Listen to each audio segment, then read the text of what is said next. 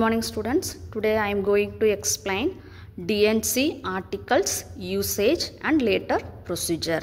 So first we will see what is the meaning of DNC. What is the abbreviation? Abbreviation means DNC abbreviation. Dilatation and curettage.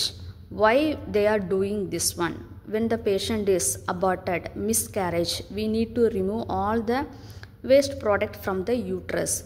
For that purpose, we are using these instruments. We are removing all waste product from the uterus. So totally the procedure name is dilatation and curettage. This one we are doing in the operation theatre only with the mild sedation, mild anesthesia.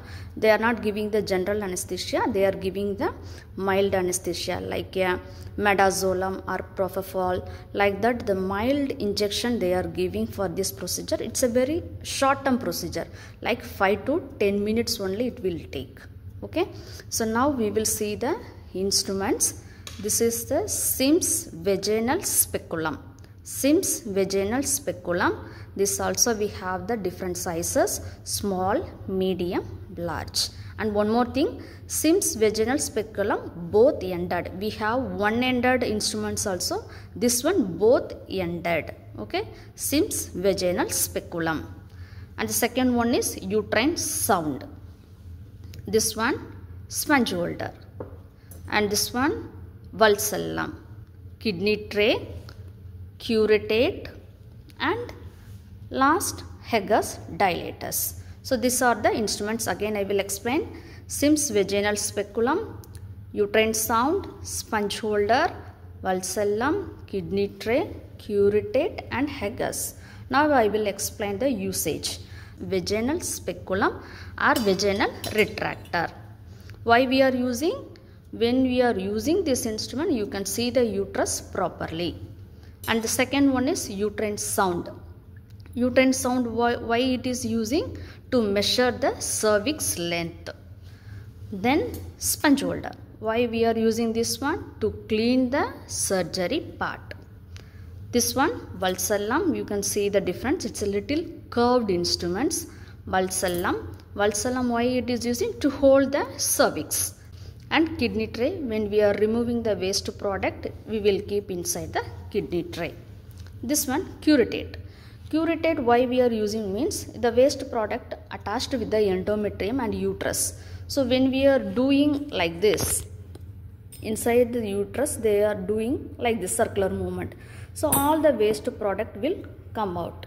This one you can see this is the blunt this is the sharp according to the waste product attached in the uterus they will use maybe the sharp or blunt edges.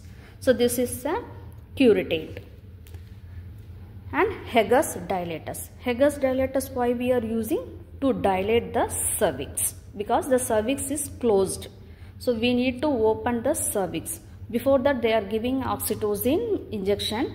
And also in the surgery time we have to dilate the cervix so the use of the Hegar's dilators. This Hegar's dilators also we have the numbers means size. Okay. For example, you can see this one 9. So other edge we can see 10.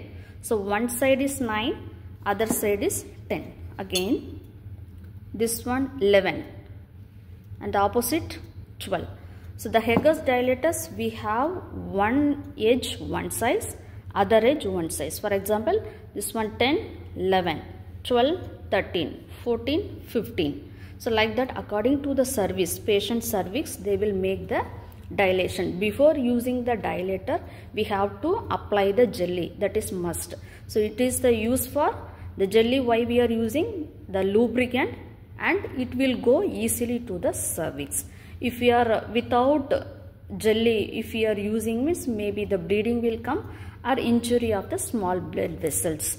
So that's why we are applying jelly. Then again we are using the Hegar's to open the cervix. Here also we have all the sizes one side one size and opposite side another side. For example 10 11 12 13 like that it will go. Then we will see the procedure how they are doing the procedure. First explain the procedure to the patient and take the consent, make the preparation of the private part, and take the patient inside the OR. After taking inside the OR, we must put the IV cannula because we are giving the sedative injection and we will start the IV fluid. Then we will make the patient sedation. Through the mask, we are giving the sedation. After giving the sedation, if the patient vitals are stable, the patient is going to the sedation, the patient is now ready for the surgery means we are making the patient lithotomy position. After putting the lithotomy position, the doctor will put the speculum. Okay. After putting the speculum, if needed means they will use the uterine sound to measure the length of the uterus. Okay. After that, they will put the Hegar's dilator. They will start with the small size. Then they will go for the big size. Uh, all of the sudden they will not go for the long size. First they will use for the small size. Then one by one they will increase. So they will make the cervix dilatation. Then they will put the vulsellum to hold the cervix. Then they will do the curettate. Okay.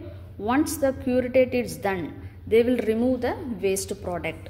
So waste product from the uterus, it will come automatically. They will collect in the kidney tray. Okay. After everything finished, we will make the patient comfortable position and when the patient is awake, then only we are shifting to the other department okay this all the simple explanation of the DNC procedure thank you